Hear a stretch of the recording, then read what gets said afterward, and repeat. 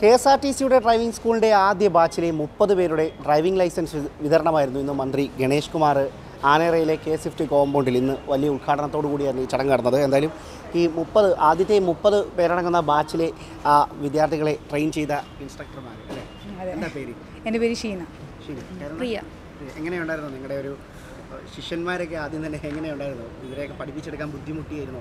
ബുദ്ധിമുട്ട് ബുദ്ധിമുട്ട് തന്നെയാണ്. കാരണം നമ്മുടെ അടുത്ത് ഒന്നും അറിയാത്ത വരുന്ന കുട്ടികളാണ്.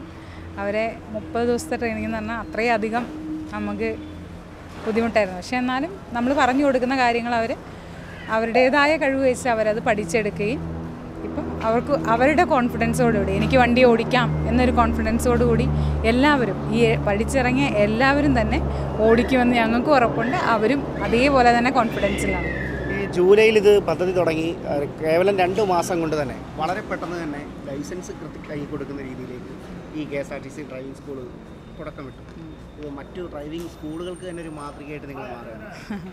ഞാൻ ആദ്യം ഡ്രൈവിംഗ് സ്കൂളിൽ പഠിപ്പിച്ചുകൊണ്ടിരുന്ന വ്യക്തിയാണ്.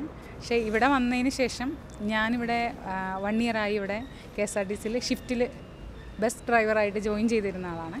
അപ്പം അവിടുന്ന് ഞാൻ വന്ന സമയത്ത് എനിക്ക് കിട്ടിയ ട്രെയിനിങ്. എനിക്ക് അത്രയധികം നല്ല ട്രെയിനിങ് ട്രെയിനിങ്ങാണ് എനിക്ക് ആ ഡ്രൈവിംഗ് സ്കൂളിൽ നിന്ന് കിട്ടിയത്. എന്ന് വെച്ചാൽ നമുക്ക് അത്രയും നല്ലൊരു ക്ലാസ് കിട്ടിയതുകൊണ്ട് ഡ്രൈവിംഗ് സ്കൂൾ തുടങ്ങുമ്പോൾ ഞാൻ ഡ്രൈവിംഗ് പഠി അവിടെ പഠിപ്പിച്ചുകൊണ്ടായിരിക്കാം എന്നെ ഇങ്ങോട്ട് വിളിക്കുകയും. ആ സാറുമാർ പഠിപ്പിച്ചെന്ന അറിവ് വെച്ച് എനിക്ക് അതേപോലെ തന്നെ അതേപോലെ അല്ല എന്നാലും എന്റെ അറിവും സാറുമാർ അന്ന് തന്ന ആ അറിവും വെച്ച് എനിക്ക് ക്ലാസ് കൊടുക്കാൻ പറ്റിയത് എന്താ അടുത്ത ടീച്ചർക്ക് പറയാനുള്ളത്. എല്ലാ നമ്മുടെ അടുത്ത് വന്ന എല്ലാ കുട്ടികളെയും നമുക്ക് പറ്റുന്ന രീതിയിൽ നല്ല രീതിക്ക് ക്ലാസ് കൊടുത്ത് അവരെ ഇറക്കാൻ ഞങ്ങൾക്ക് സാധിച്ചിട്ടുണ്ട്. എല്ലാവരും ഒരുപോലെ അല്ല വന്നത്. ഒന്നും അറിയാണ്ട് വന്ന ആൾക്കാരുണ്ട്. അത്യാവശ്യം പെട്ടെന്ന് മനസ്സിലാക്കാൻ കഴിവുള്ളവരുണ്ട്. ഒരുപാട് പറഞ്ഞു കൊടുത്താലും മനസ്സിലാവില്ലാത്തവരുണ്ട്. പക്ഷെ നമ്മൾ ആ ക്ലാസ് ടൈം തീരാറായപ്പോഴത്തേക്കും അവരെ നല്ല രീതിക്ക് നമുക്ക് എല്ലാം അവർക്ക് ഓടിക്കാൻ ഉള്ള രീതിക്ക് നമ്മൾ ആക്കിയെടുത്തിട്ടുണ്ട്. ലൈറ്റ് കൊണ്ട് ഹെവി വെഹിക്കിളും ഉണ്ട്. ഇപ്പോൾ ഹെവി ഒരുപാട് പേരുണ്ടായിരുന്നോ? ഇത് പഠിക്കാനായിട്ട് ഹെവി നമ്മൾ ഒരു ബാച്ചിൽ പതിനാറ് പേരാണ് കൊടുക്കുന്നത്. അങ്ങനെ പതിനാറ് പേരുണ്ടായിരുന്നു ഹെവി പഠിക്കാനായിട്ട്. എത്ര വലിയ ബുദ്ധിമുട്ടുണ്ടായിരുന്നോ? ഹെവി ഹെവിക്ക് ഹെവി പഠിപ്പിക്കുന്നത് സാർമാരാണ്. ഞങ്ങൾ ലൈറ്റ് വെഹിക്കിളും ടൂ വീലറുമാണ് പഠിപ്പിക്കുന്നത്. ഈ ലൈറ്റ് ഓടിക്കുമ്പോൾ തന്നെ റോഡിൽ ഇറക്കുമ്പോൾ ഉള്ള ശ്രദ്ധിക്കേണ്ട കാര്യങ്ങൾ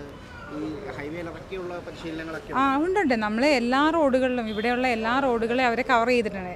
ഇപ്പം ഡ്രൈവിംഗ് എന്ന് പറഞ്ഞാൽ ഒരിക്കലും പഠിച്ചു തീരാത്തൊരു സംഭവമാണ്. അപ്പം ഓരോ ദിവസം വേറെ വേറെ വഴി ഇന്നൊരു ദിവസം ഹൈവേ ആണെങ്കിൽ അവരെ മറ്റൊരു ദിവസം പോക്കറ്റ് റോഡ് അങ്ങനെ ജംഗ്ഷൻ എല്ലാ മേഖലകളിലും അവരെ കൊണ്ടുപോയി കുന്ന് എല്ലാ സ്ഥലങ്ങളിലും നമ്മൾ കൊണ്ടുപോയിട്ടാണ് ഇവരെ ഇങ്ങനെ ആക്കിയെടുത്തേക്കുന്നത്. ഡ്രൈവിംഗ് പറഞ്ഞാൽ മന്ത്രിക്ക് ഒരു നിർബന്ധം ഉണ്ടായിരുന്നു സുരക്ഷിതമായ ഡ്രൈവിംഗ് ലൈസൻസ് അതെ അതെ. അതെ നമുക്ക് അതിനായിട്ട് അവരൊരു എന്താ നമുക്ക് നേരത്തെ ഒരു ഇത് ഇങ്ങനെ ഇങ്ങനെയാണ് പഠിപ്പിക്കേണ്ടത്. ഇന്ന സ്ഥലങ്ങളിലൂടെ കവർ ചെയ്യണം എന്നെല്ലാം പറഞ്ഞു അതുപോലെ തന്നെ ഞങ്ങൾ എല്ലാ സ്ഥലങ്ങളിലും കൊണ്ടുപോയി. എല്ലാ ജംഗ്ഷൻ തിരക്കുള്ള ഏരിയകളിൽ പോക്കറ്റ് റോഡ് മെയിൻ റോഡ് എല്ലായിടത്തിലും നമ്മൾ ക്ലാസ് കൊടുത്തിട്ടാണ് അവരെ നമ്മൾ ഇറക്കിയിരിക്കുന്നത്. എന്തായാലും